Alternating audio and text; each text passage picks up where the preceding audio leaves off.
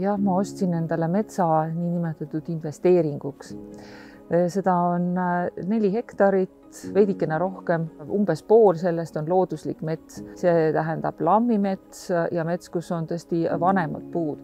umbes kahel hektaril on siis sellist metsa, kuhu võiks kujundada majandusmetsa ma kasutan oma metsa põhiliselt puhkemetsana, kuna see asub maastikukaitsealal väga kauni Peetri jõe kaldal.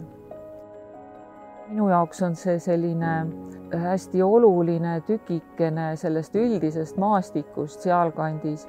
tegu on niisuguse tüüpilise Peetri jõe kaldametsaga, mis samas on ka lähedases kontaktis ülejäänud metsadega seal Peetri jõe kaitseala metsad lähevad teisel pool jõge edasi, seal on sihtkaitsevöönd.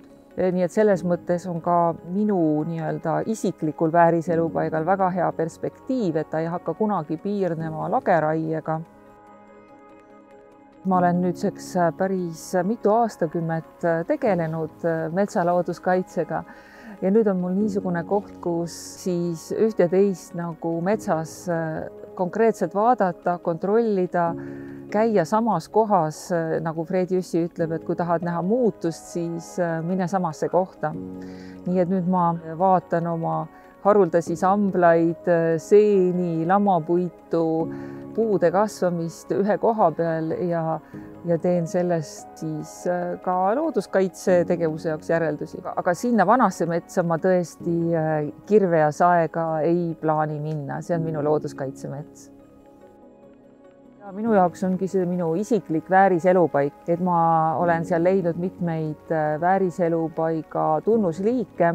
näiteks oli mul võimalus kuus aastat äh, jälgida korallnarmiku elukäiku. mul on seal sulgjasõhik ja muid selliseid äh, huvitavaid liigikesi. no näiteks lammimetsas on hästi ohtralt säbrikut, see on niisugune armas siilikeesekujuline sammal okstel teised liigid on seotud pigem jõega nagu jäälind või koprad või ka Ameerika naarits ehk mink.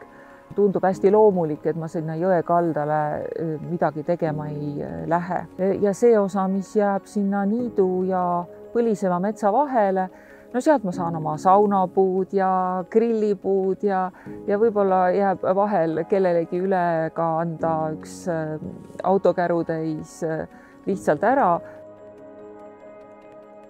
Eestis olekski looduslikult mets peaaegu igal pool, kus siis ei ole nagu meil soo või väga tugevalt üleujutatav ala.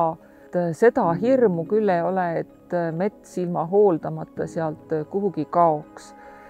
metsaökoloogina vaatan ma niisuguseid sajandite eest juba kasvanud metsi ja mõtlen, et tollased metsaomanikud või maaomanikud ei saanud ju teada, mis selle metsa raieküpseks saamise ajal on puiduturul nõudlus, et selles mõttes võib mets rahulikult seista ja oodata oma aega, et neid puid seal maha võtta jõuab alati. Kui kiiret ei ole, siis kiirustada ei ole vaja